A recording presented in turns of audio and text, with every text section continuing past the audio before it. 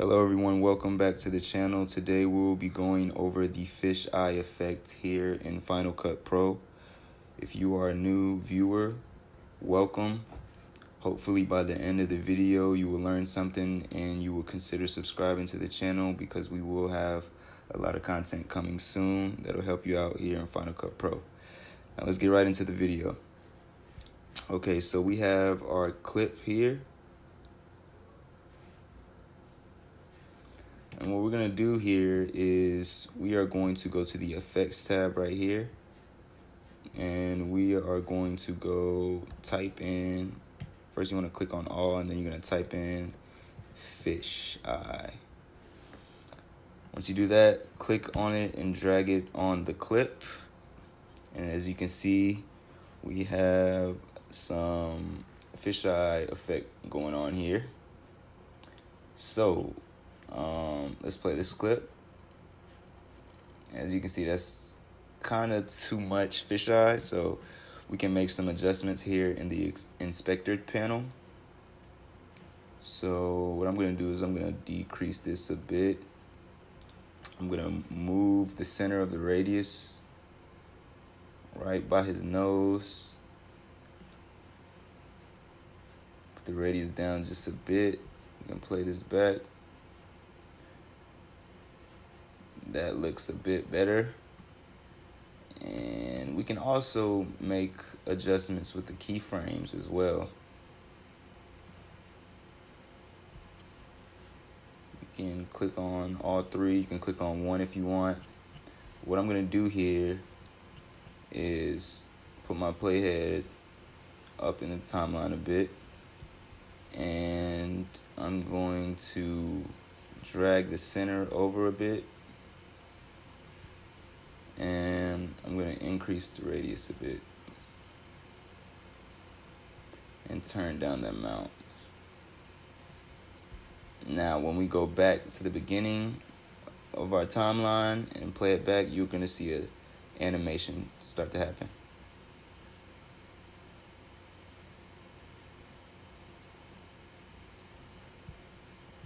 You could barely see that. So what we're going to do is we're going to exaggerate it even more. Let's put the radius up.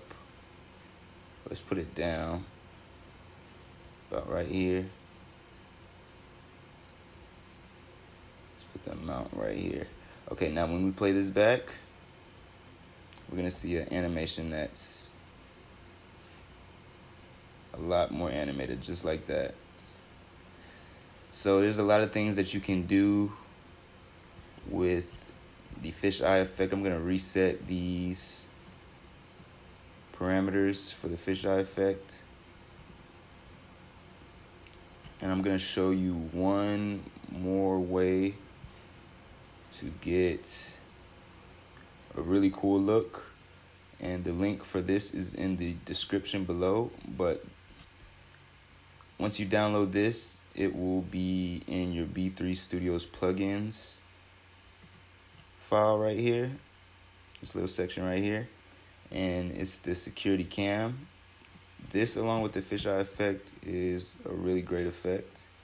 So I just drag that on to my clip. And if you don't want it gray and white, you can uncheck this halftone right here.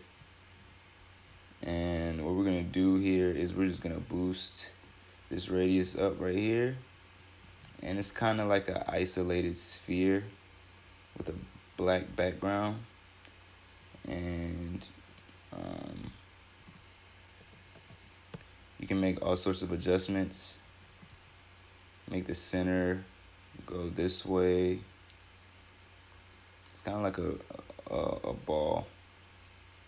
But this is an awesome effect as you can see you can add keyframes right here. So what I'm gonna do here is going to add a keyframe to the beginning of the timeline.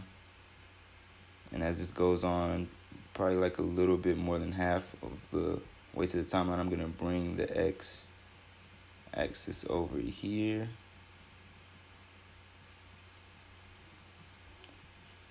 And now let's see how this looks when we play it back.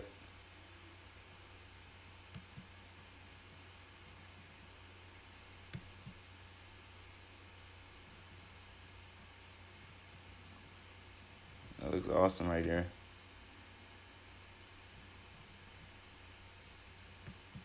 like I said, there's a lot of things that you can do